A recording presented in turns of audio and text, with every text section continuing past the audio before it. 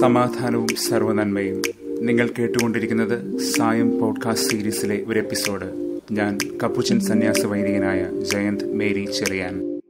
ഇന്നലെ നാം സങ്കീർത്തനം നാൽപ്പത് ധ്യാനിക്കുകയായിരുന്നല്ലോ. ഹെബ്രായർ പത്തിനോട് ചേർത്ത് വായിച്ചുകൊണ്ട് അങ്ങെനിക്കൊരു ചെവി തുറന്നു തന്നു ഇതാ ഞാൻ. സങ്കീർത്തനം നാൽപ്പത്. അങ്ങെനിക്കൊരു ശരീരം തന്നു ഇതാ ഞാൻ. ഹെബ്രായർ പത്ത്. ഒരേ യാഥാർത്ഥ്യത്തെ ഈ അനുബന്ധമായ വചനഭാഗങ്ങൾ അങ്ങനെയാണ് വായിച്ചെടുക്കുന്നത്. നാം മുൻപ് പല പ്രാവശ്യം ഉദ്യമിച്ചിട്ടുള്ളതുപോലെ രണ്ടും കൂടി കൂട്ടി വായിക്കുമ്പോൾ നമ്മുടെ ശരീരത്തിന്റെ ഓരോ അണുവും ദൈവവചനത്തോട് പ്രതികരിക്കാൻ കമ്പനശേഷിയുള്ള ഓരോ കർണപുടങ്ങളുമാകുന്നു മാംസം വചനമാകുന്നു. ഇന്ന് അതുകൊണ്ട് തന്നെ സഭയെ ക്രിസ്തുവിന്റെ ശരീരമായി ശ്രീഹ പഠിപ്പിച്ചു തരുമ്പോൾ കാര്യങ്ങൾ കുറെ കൂടി മിഴിവേറുകയാണ്. ഒന്ന് കൊറിയന്ത്യർ പന്ത്രണ്ട്. നാം ഓരോരുത്തരും ക്രിസ്തു ശരീരത്തിലെ അംശങ്ങളും ജീവകണങ്ങളുമായി മാറുന്നു. എല്ലാം അതിന്റെതായ പ്രാധാന്യവും ദൗത്യവും അനിവാര്യതയുമായി നിലകൊള്ളുന്നു. ഒന്നിന്റെ കുറവ് പോലും മറ്റെല്ലാത്തിനെയും സാരമായി ബാധിക്കുന്ന ഒരു ജൈവബന്ധമാണിത്.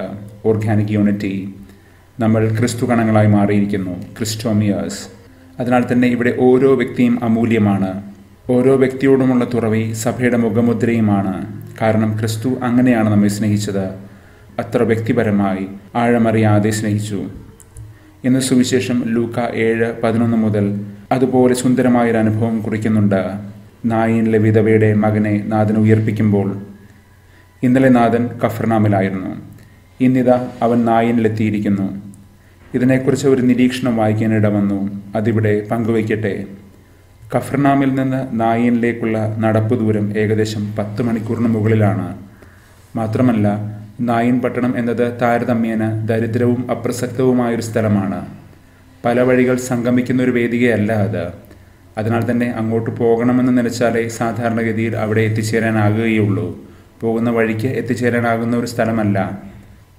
അങ്ങനെയെങ്കിൽ ഈ പട്ടണത്തിൽ എത്തിച്ചേരാൻ ഈശോ രാത്രിയോ അതിരാവിലെയോ നടക്കാൻ തുടങ്ങിയിരിക്കണം. അവൻ തക്ക സമയത്ത് വന്ന് ആ ശവമഞ്ചത്തിൽ തൊടുന്നത് അങ്ങനെയാണെങ്കിൽ യാദൃശികമായി സംഭവിക്കുന്ന ഒന്നല്ല. അവൻ ഈ ഒരു മുഹൂർത്തത്തിന് വേണ്ടി തന്നെയാണ് അവിടേക്ക് പാഞ്ഞെത്തിയിരിക്കുന്നത്. ഒരു വിധവ അവളുടെ ഏക മകൻ മരിച്ചുപോയി. അവൻ ചെറുപ്പമാണ് അപ്പോൾ അവളും മധ്യവയസ്സ് കഴിഞ്ഞിട്ടുണ്ടാകാൻ സാധ്യതയില്ല. ഇനി മുൻപോട്ടുള്ള അവളുടെ ജീവിതം ഒരു വലിയ ചോദ്യചിഹ്നമാണ്. കാരണം ആ സാമൂഹിക വ്യവസ്ഥയിൽ ഭർത്താവ് നഷ്ടപ്പെട്ട ഏക മകനം നഷ്ടപ്പെട്ട ഒരു സ്ത്രീയുടെ ജീവിതം പുലരുക പോലും ദുസ്സാധ്യമാണ്. അതിനാൽ അന്ന് അവൾ ആ തലേരാത്രിയിൽ തന്റെ കുടിലിന്റെ തിണ്ണയിൽ തളർന്നു കിടന്ന് നെഞ്ചുരുകി നെടുവീർപ്പിട്ട് കാണും. ദൈവമേ എന്തുകൊണ്ട് ഇങ്ങനെ? ഈ സ്വരം കഫർനാമിലിരിക്കുന്ന നാഥനെ പൊള്ളിച്ചു കാണണം. അതുകൊണ്ടാണ് അവൻ നായിനിലേക്ക് ഓടിയെത്തിയത്. അവൻ ശവമഞ്ചത്തിൽ തൊട്ടു. അത് അവനെ ആചാരപരമായി അശുദ്ധനാക്കും. സാരമില്ല. നമ്മുടെ അശുദ്ധികളിൽ നമ്മെ തൊട്ട് വിശുദ്ധിയിലേക്ക് നയിക്കാനും ജീവൻ പകരാനുമാണല്ലോ അവൻ വന്നത്. ആ യുവാവ് ഏകജാതനായിരുന്നു. ഇതാ പിതാവിന്റെ ഏകജാതനായ ക്രിസ്തു നമുക്കെല്ലാം വേണ്ടി പകരക്കാരനാകും. നാം അവനിൽ പങ്കുകാരാകാൻ തന്നെ.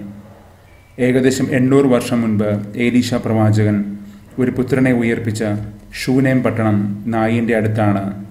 ഈ ഓർമ്മയിലായിരിക്കണം ജനം വിസ്മയം കൊണ്ട് പറഞ്ഞത് ഇതാ നമ്മുടെ ഇടയിൽ വലിയൊരു പ്രവാചകൻ ഉദയം ചെയ്തിരിക്കുന്നുവെന്ന് ദൈവം നമ്മെ സന്ദർശിച്ചിരിക്കുന്നുവെന്ന്. ആ വിലയിരുത്തൽ പക്ഷേ അത്ര പാകമായിട്ടില്ല.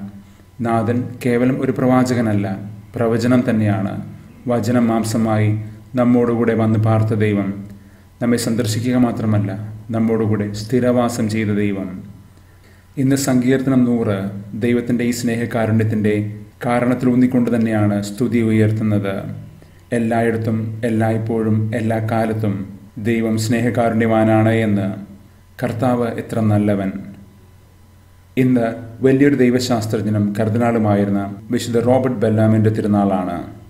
മാർപ്പാപ്പയുടെ അരമനയിൽ താമസിക്കാൻ സൗകര്യം കിട്ടിയിട്ടും അദ്ദേഹം അവിടെ സന്യാസോചിതമായിട്ട് ലളിത ജീവിതം നയിക്കുകയാണ് ചെയ്തത്. തന്റെ മുറിയിലെ വിലയേറിയ വിരികൾ എടുത്ത് പാവങ്ങൾക്ക് കൊടുത്തുകൊണ്ട് അദ്ദേഹം പറഞ്ഞു ഭിത്തികൾക്ക് തണുക്കില്ലല്ലോ. ക്രിസ്തുവിന്റെ ദരിദ്ര ശരീരം വിവസ്ത്ര ശരീരം തെരുവുകളിൽ വിറങ്ങലിച്ച് കിടക്കുന്നത് സഭയിലെ ആ രാജകുമാരൻ അറിയാതെ പോയില്ല ഇന്ന് വിശുദ്ധ ഫ്രാൻസിസ് അസീസിയുടെ പഞ്ചക്ഷത ധാരണത്തിന്റെ എണ്ണൂറാം വാർഷികം കൂടിയാണ്. ക്രിസ്തുവിന്റെ വേദനകളിൽ പങ്കുചേർന്ന് ക്രിസ്തുവിന്റെ മുറിവുകളാൽ അലങ്കരിക്കപ്പെട്ടു എന്നാണ് ഫ്രാൻസിസ് പാപ്പ ഇതിനെക്കുറിച്ച് കഴിഞ്ഞ ദിവസങ്ങളിൽ പറഞ്ഞത്. ക്രിസ്തുവിനോടുള്ള താതാത്മ്യം അവന്റെ ശരീരത്തോടുള്ള ഉദാത്തമായ അനുരൂപണം തന്നെയായി വിശുദ്ധ ഫ്രാൻസിസ് അസീസിയിൽ ദൈവം സവിശേഷമായി ചാർത്തി കൊടുത്തു. ക്രിസ്തുവിനോടും ക്രിസ്തുവിന്റെ ശരീരമായ സഭയോടും അത്രമേൽ ആഴത്തിൽ അലിഞ്ഞു ചേർന്നവന്റെ സ്നേഹം ക്രിസ്തുവിന്റെ മുദ്രകളാൽ ശോഭിതമാകാതിരിക്കാൻ നിർവാഹമില്ലല്ലോ. അവനിൽ ക്രിസ്തുവിന്റെ മുദ്രകൾ അത്ര തനിമയോടെ കാണപ്പെടാതിരുന്നാലല്ലേ അത്ഭുതം. കാരണം തന്റെ ക്രിസ്തു ജീവിതത്തിൽ ഏറ്റവും എളിയവനോടും പരിത്യക്തനോടും പോലും അവൻ അത്രമേൽ സ്നേഹത്തോടെ പെരുമാറി. കുഷ്ഠരോഗികളെ പുണർന്നുകൊണ്ട് ഫ്രാൻസിസ് എന്റെ ക്രിസ്തു സോദര എന്നാണ് വിളിച്ചത്. കഴിഞ്ഞ ദിവസം സംഖ്യാപുസ്തകത്തിൽ നമ്മൾ ധ്യാനിച്ചതുപോലെ ആഗ്നേയ സർപ്പങ്ങൾ സെറാബ് സർപ്പൻസ് അവയുടെ ദംശനത്തിൽ കുരിശിന്റെ വെളിച്ചം പാഞ്ഞതുപോലെ ഇവിടെ ഇതാ ഒരു ആഗ്നേയദൂതൻ സെറാഫിന്റെ രൂപത്തിൽ നാഥൻ ഫ്രാൻസിസിനെ പുണരുകയാണ് ക്രൂശിതൻ.